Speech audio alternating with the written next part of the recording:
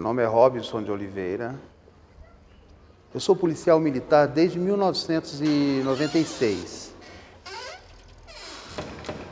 Luto jiu-jitsu desde, desde sempre. E, além disso, ministro aula de jiu-jitsu aqui na comunidade do Vida Nova 1. É, fazendo o policiamento, exercendo a minha função como policial, eu já fazia rondas aqui pelo Vida Nova. Aí eu percebi muita criança, você viu uma criançada saudável, alegre, esperta, mas ociosa na rua. Aí eu pensei em criar o projeto aqui na comunidade para tirar essa molecada da rua e direcionar para um futuro melhor. Coloca a perna mais distante, ela copia eu, está? Botou a mão no chão, temos que entrar nesse espaço aqui, ó. Os meus alunos eles têm no mínimo nove anos. De nove, aí qualquer um pode treinar com a gente. Eu tenho um aluno com deficiência física, eu tenho um aluno que tem uma pequena deficiência mental. Se não tiver restrição médica para exercer o esporte, pode treinar com a gente. Jiu-jitsu significa arte suave. A, a, a palavra jiu-jitsu é traduzindo em japonês arte suave.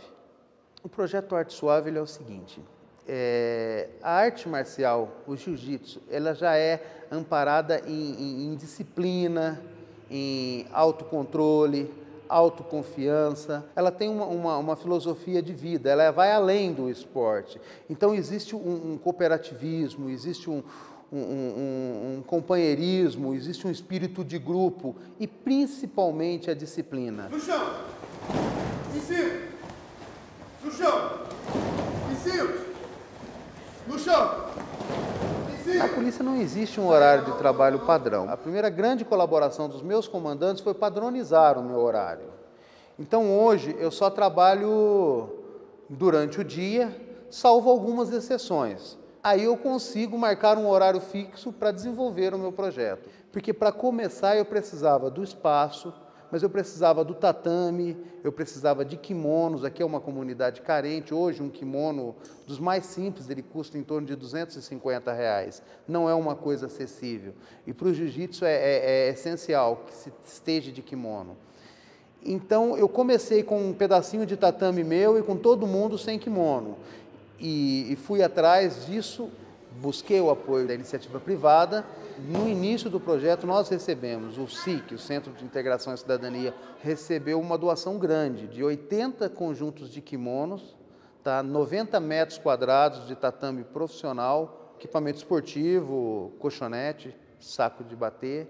E aí nasceu o nosso projeto, 6 de maio de 2013.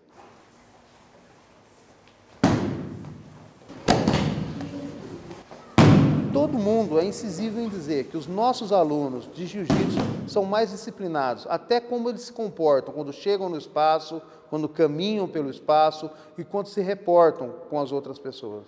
Eu vejo que os pais muitas vezes trazem eles aqui e me perguntam: eles estão vindo?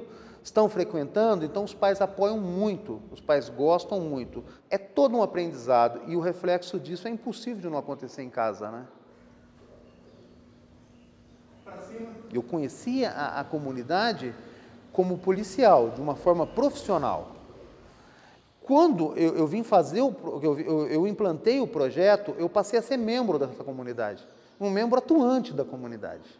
Então hoje eu não sou mais um estranho para eles na comunidade. Hoje eles conversam mais comigo. Hoje eles contam coisas que eles não falariam para mim antes, que eles não falariam para um policial fardado, eles teriam certos receios. Hoje, é, eles me têm como amigo.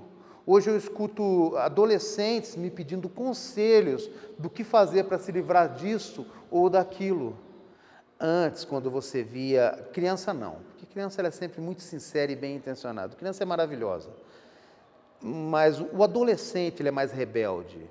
Quando um adolescente respondia uma pergunta brusca, despertava uma certa bronca na gente, né? Que cara sem educação, que molecão, né?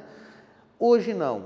Hoje, quando, hoje é comum um adolescente chegar aqui com a cara amarrada e ficar longe do tatame, encostado num canto. Aí eu vou lá e convido, você quer participar? Aí ele vem aos pouquinhos. São adolescentes ressabiados, muitas vezes sofridos. E muitas vezes eles vêm de um relacionamento familiar conturbado. Eles não conhecem a gentileza, não conhecem E, e quando eles veem isso na gente, então, como eu disse, é sempre muito recíproco. A gente muda também. Se eu tenho hoje cento e tantos alunos e eu consegui mudar a vida de pelo menos um, embora eu tenha certeza absoluta que já mudei de muitos, para mim valeu a pena. Valeu a pena cada segundo. Eu vou empurrar com uma mão, puxar com a outra e eu pegar e dar o passo. Nessa passada dele, ele parou. Eu acho que todo mundo, independente de funcionário público ou não, é capaz de muito mais do que já faz sempre. Então, eu acho que na, nas mais diversas áreas, quer seja, quer seja num setor atribulado de um departamento público lotado, eu acho que dá para direcionar, eu acho que dá para parar um pouquinho e pensar um pouco mais nos outros. E que a gente não faz de propósito, mas o benefício para a gente é imenso. Quando a gente faz de forma desinteressada, quando a gente faz de livre, espontânea vontade, eu acho que volta em dobro para a gente.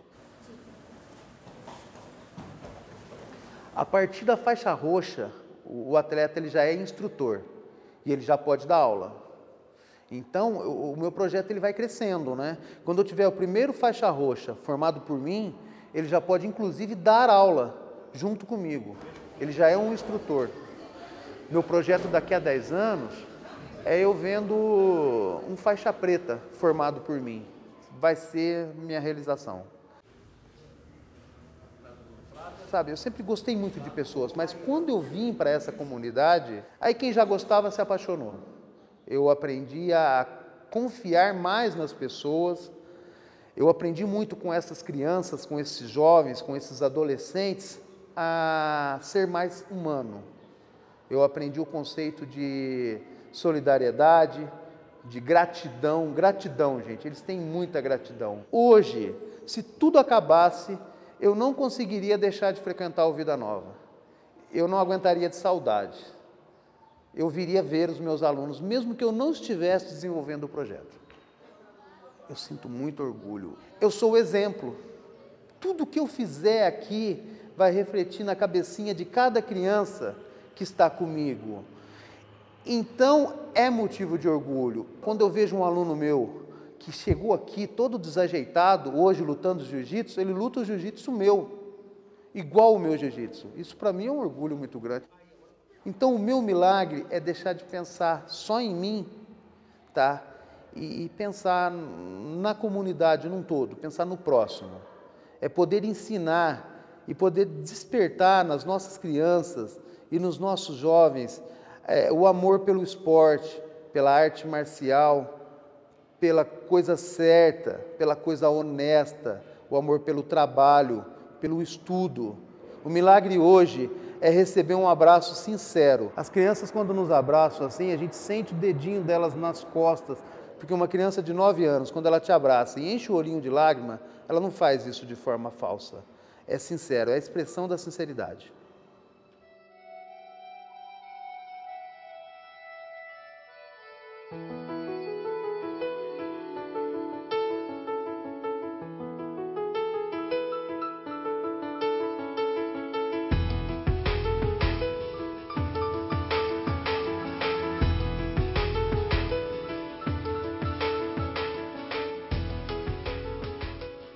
Gostaria também de estar agradecendo aos meus comandantes, comandante do CPI-2, ao comandante do 47I, ao comandante da primeira companhia do 47, porque sem a autorização e o apoio deles, nada disso estaria sendo possível. Gostaria de agradecer também à diretora do SIC Campinas. Obrigado.